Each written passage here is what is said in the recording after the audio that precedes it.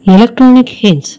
Heartily welcome you to know interview questions and answer in General Electronic Part 2.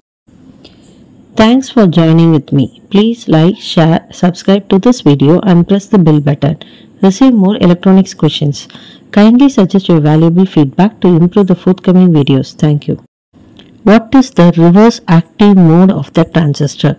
When the emitter junction of the transistor is reverse biased and the collector junction is forward biased, that is the reverse active mode. What is the chip resistor? The surface mount resistor is the chip resistor. Which resistor is used in the PC? The SMD resistor is used in the PC. What is the VDR?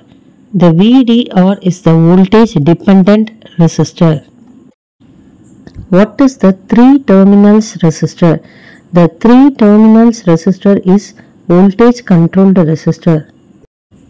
What is the use of voltage controlled resistor? It is useful in various analog signal processing applications.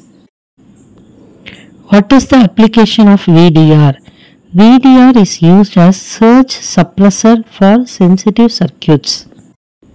Why can't be the inductive circuits fabricated in IC? The particular non-planar configuration prevents the IC fabrication process to integrate the inductive circuits as part of the IC device. Why is the usage the inductance lesser electronic circuits? The usage the inductance is lesser electronic circuit due to its physical size, complexity, cost, the potential for introducing unwanted effects like electromagnetic interference and its reactance. What is an electronic fuse?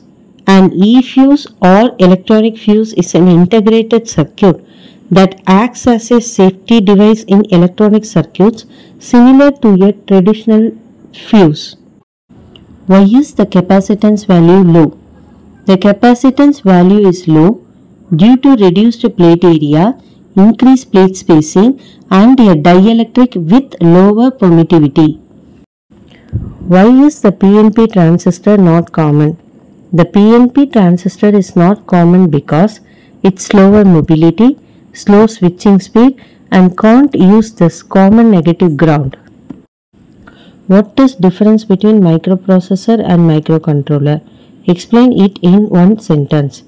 The microprocessor is a chip and the microcontroller is a system. What is the multi-emitter transistor? The multi-emitter transistor has a number of emitters. Where is the multi-emitter transistor used? The multi-emitter transistor is used in the TTL NAND gates. The continuation of this part is in my coming video. Thanks to Google and Books. Kindly forgive the mistakes in the video.